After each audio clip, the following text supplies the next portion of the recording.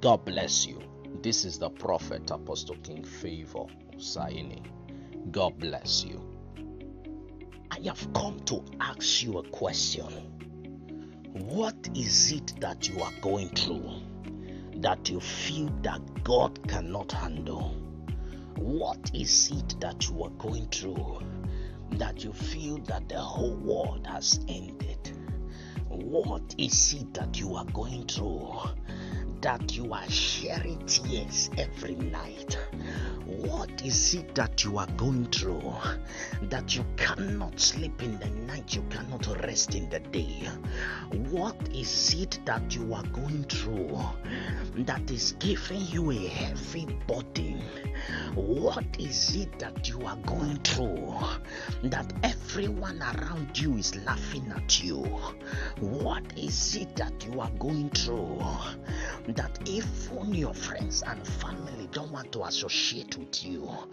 What is it that you are going through that when you look at your life, it look like a mess?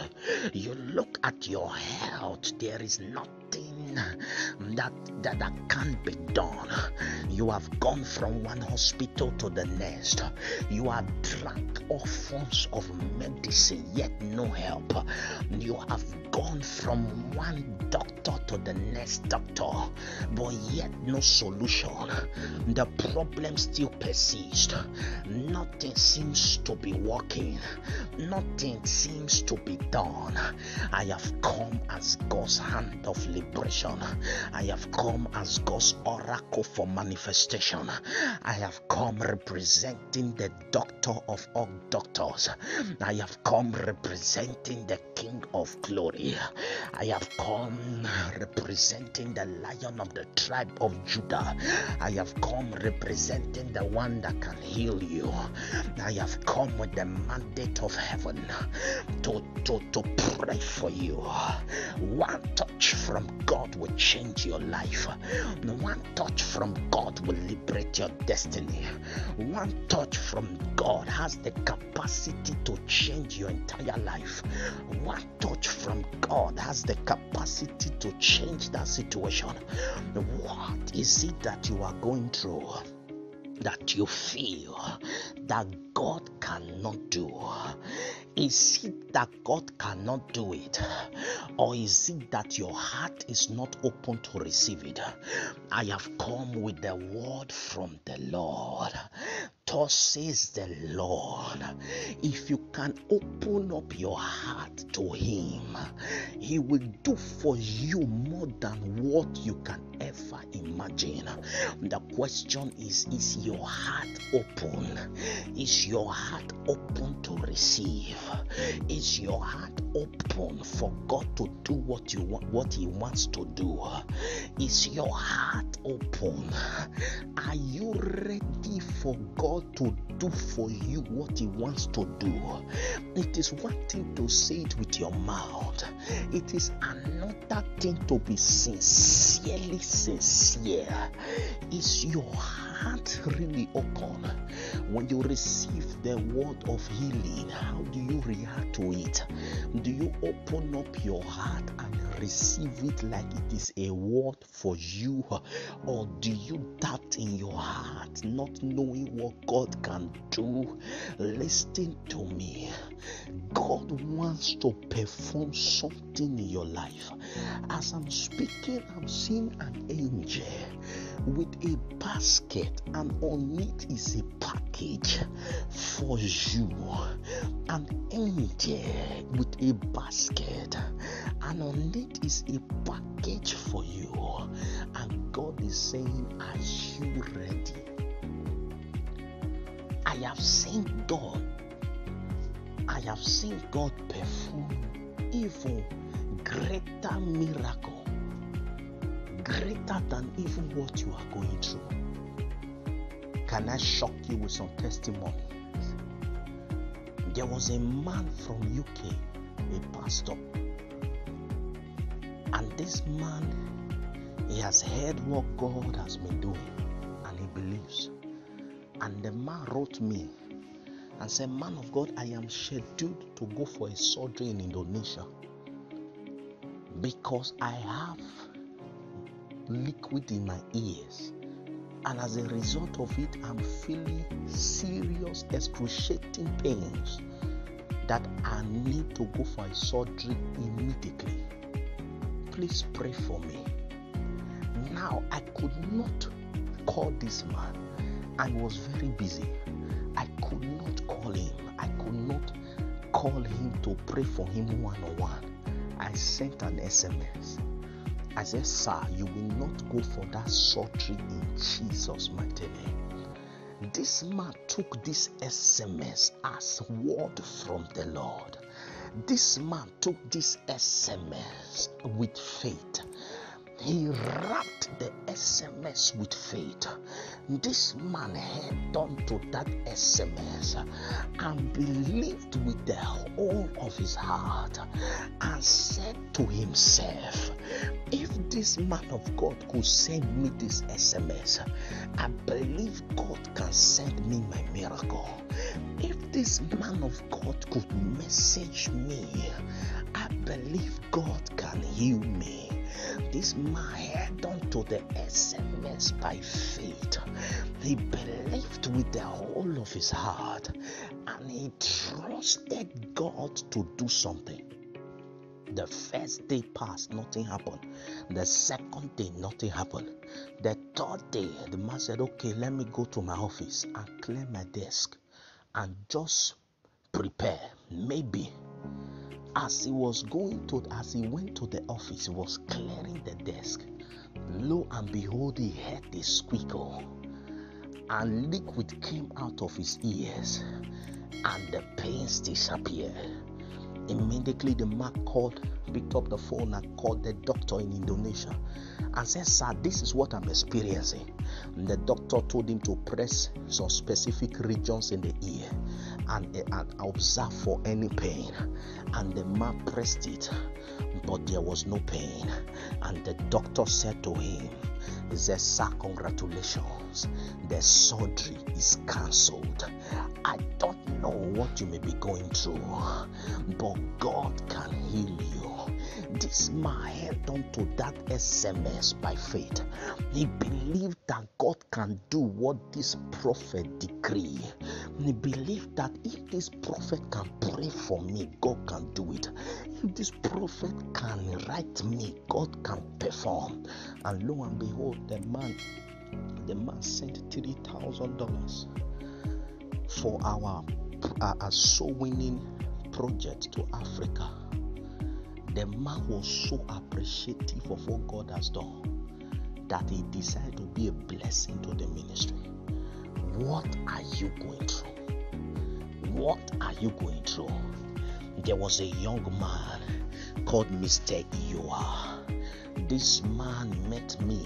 I was in a crowded environment. This man broke through the crowd and came and said, Sir, I've heard, I have seen what God is doing through your life. I have a problem. This problem I had accident years ago that I fractured my bones. Because of that, I'm experiencing great pains.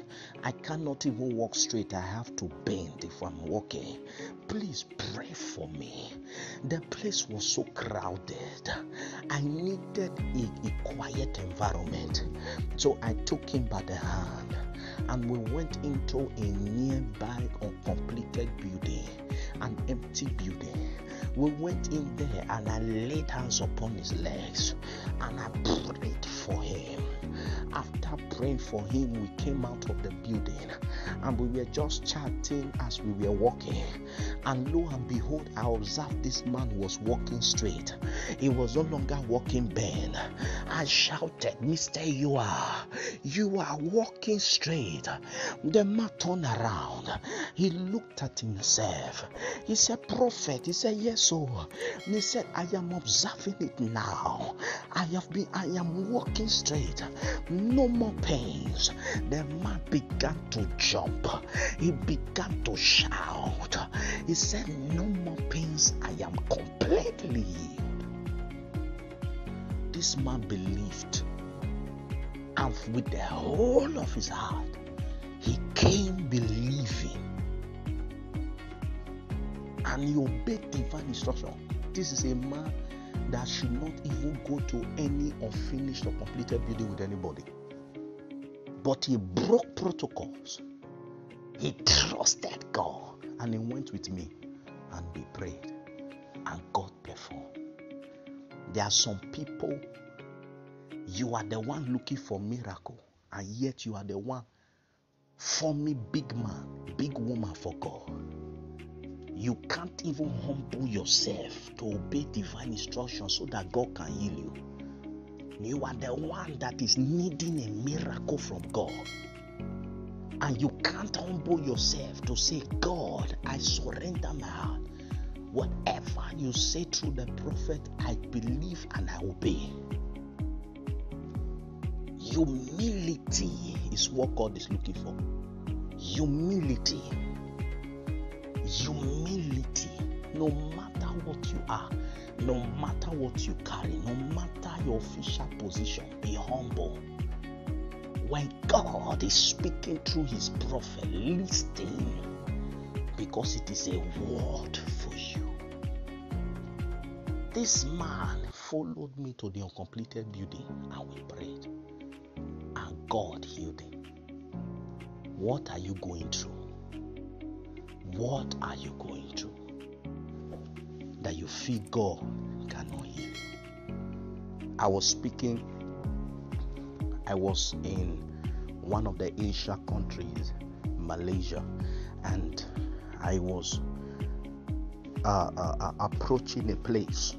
I wanted to get some some things, and I saw a young man, and this young man was in tattered clothes. The young man came to me.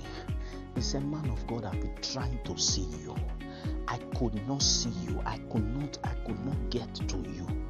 but please that's why i had to i had to follow you i had to i had to monitor you to this place please sir my life is in a mess i need a miracle my businesses have crumbled and collapsed i need god to intervene and i looked at this young man i said do you believe this young man said yes i said the next time i see you you will be a millionaire this young man jumped up with faith.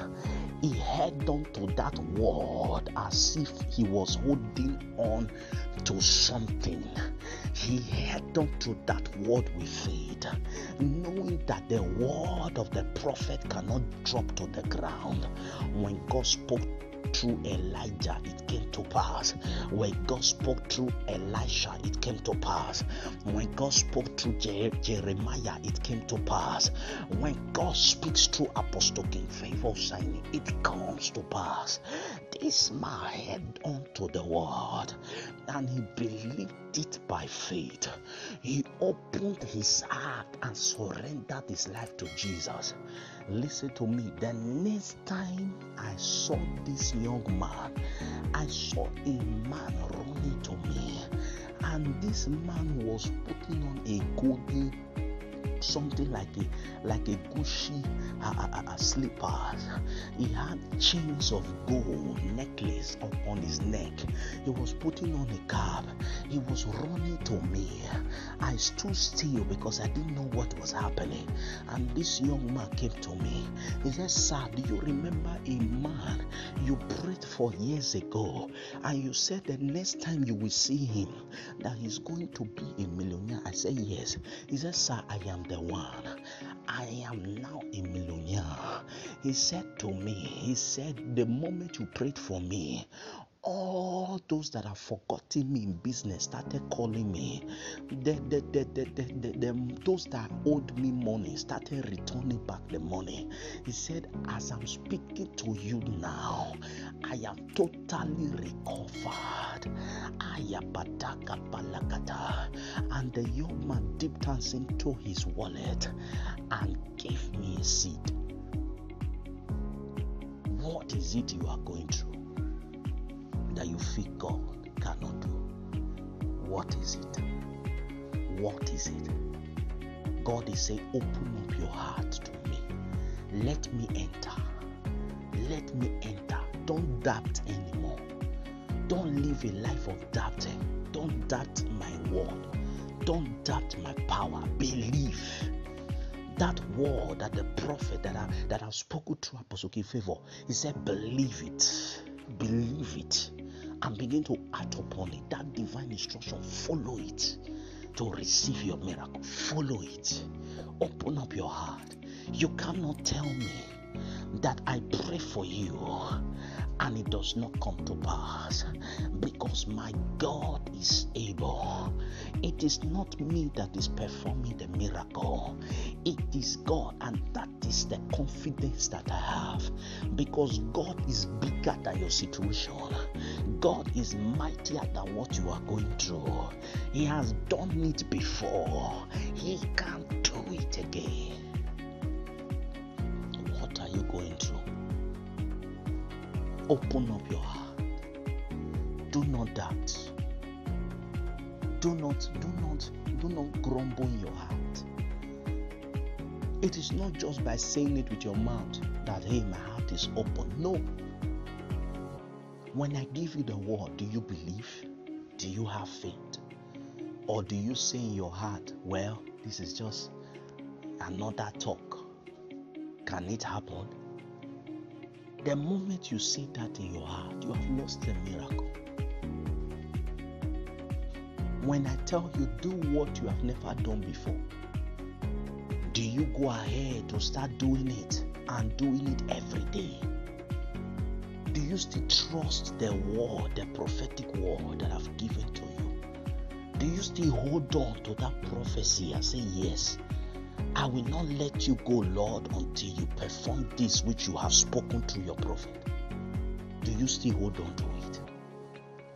The fact that you have not seen it does not mean it will not happen. What God is looking at is looking at your response to His power, your response in faith. How well are you holding on in faith? How well do you believe? One word can change your entire destiny. How well do you believe?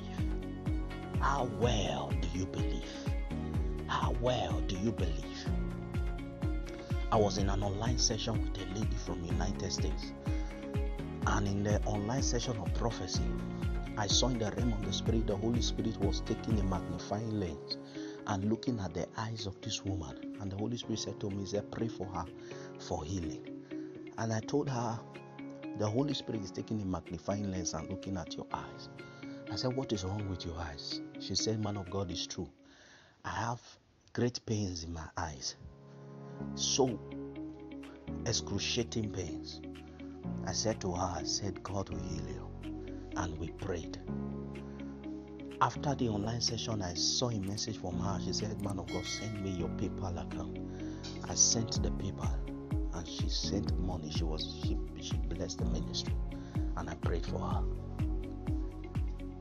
Lo and behold, in less than few days, I received a message from her. She said, "Man of God, as I'm speaking with you, I don't have pains anymore in the eyes." She said the pains totally disappeared. God miraculously healed her. The, all the pains are gone.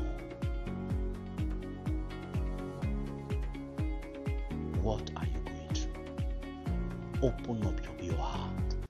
Open up your heart to God. Let God come in and do what He wants to do. Let God come in and do what He wants to do. You cannot tell me that your heart is open.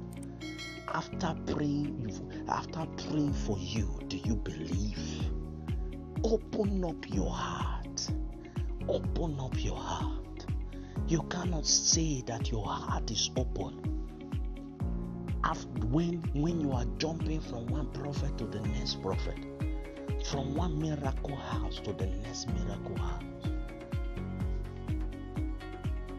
Your heart is not open when you do so because it is it is as a result of doubt that makes a man jump from one miracle house to the next miracle house, from one prophet to the next prophet one word from God through a prophet, one prophet can change your destiny. You don't need all the prophets in the world. You need one true prophet. And this is a true prophet from the Lord. Hold on to it. Hold on to this ministry. Hold on to God. You cannot say that your heart is open. When you are prayed for, the next day you go and sleep with a man or a woman that is not your wife, that is not your husband, living a life of sin. You need to stop all that and open up your heart in sincerity to God and let God come in and work on you. God cannot work on you when your heart is divided. The Bible says you cannot serve God and mammon. You cannot be coming to church and still going to occult to seek for healing, to seek for financial breakthrough. It cannot work. You cannot be listening to my messages and still be fornicating, committing adultery. It, it does not work. Your heart needs to be open. Your heart needs to be open. You cannot receive a message from me, and adapt it, and say, eh, will it work or will it not work? You, the day you do it, you lose miracle. Stop it. Focus on God. When I tell you, do what you cannot do before, do you obey and constantly every day keep trying it, keep doing what you could not do before? Do you hold on to that word, to that miracle word, to that prophetic word that I give to you? Do you hold on to it and believe with the whole of your heart that as I've spoken, it shall come to pass because God is faithful to perform? I pray for you. Write to me now. There is an angel with a basket, and on it is a package for you. I see an angel holding a basket, and on it is a package for you. Begin to receive in the realm of the spirit. Rabade shakabala bada yabada yada Mende zubanana namana kabayada basha.